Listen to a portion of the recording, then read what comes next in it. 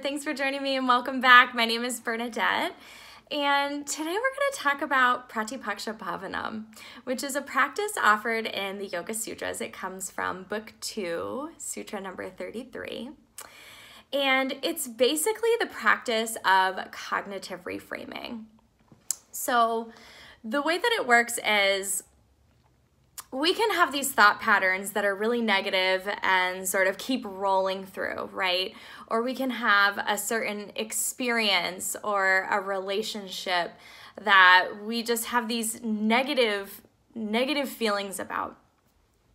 And we suffer from that, right? We're human beings. We have these experiences, we have thoughts about those experiences and emotions and feelings, and we can suffer from that.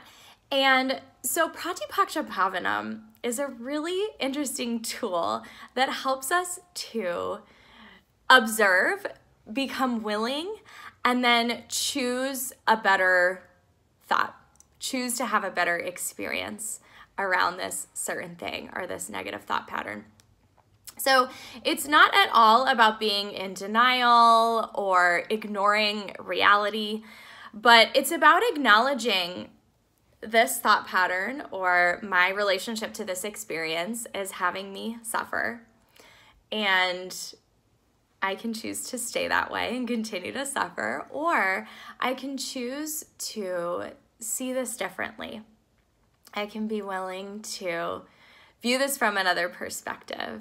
And this is a really cool way to like change our relationship with certain thoughts or certain things and then also find gratitude in things that we wouldn't necessarily think of as an experience to be grateful for. So, it's it's as simple as it sounds. It's so let me give you an example. If I have this big family and all these beautiful children and it has me really really busy and exhausted every day and there's just i'm looking at the full laundry pile and i'm thinking to myself oh my gosh what a freaking mess i am stressed out blah blah blah in that moment you'd catch the thought you'd say can I be willing to see this differently? Do I need to suffer from this thought or can I reframe a little bit? And then you choose a new thought like, how lucky am I to have this beautiful, healthy family that creates all this laundry?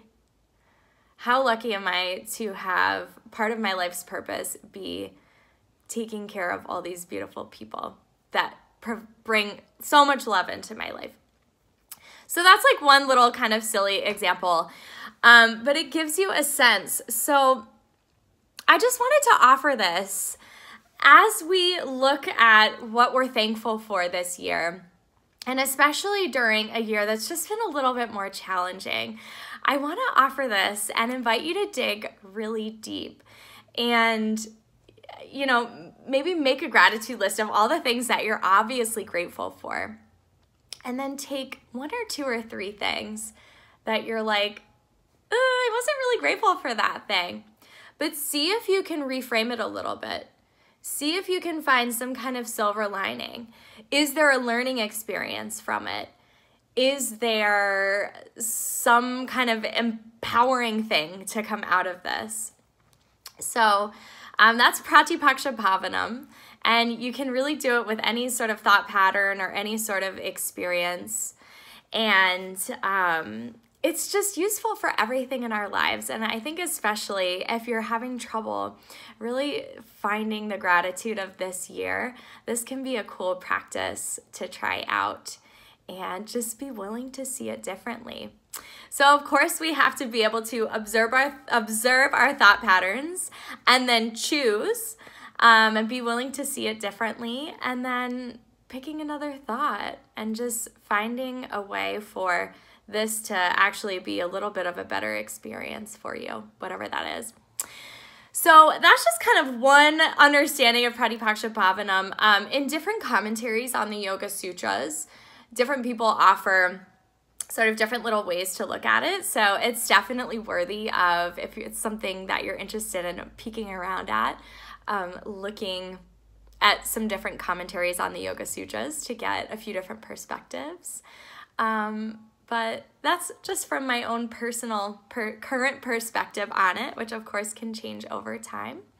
But I wanted to offer it and wish you the most amazing Thanksgiving and wish for you that and invite you to um, maybe take some of the hard things of this year and see if you can apply Pratipaksha Bhavanam and just be willing to see things a little bit differently and just see what happens. Thank you so, so much for tuning in. If you have any questions or comments, I would love to hear about them. So leave a comment below, or you can reach out to me through my website at bernadettesoler.com.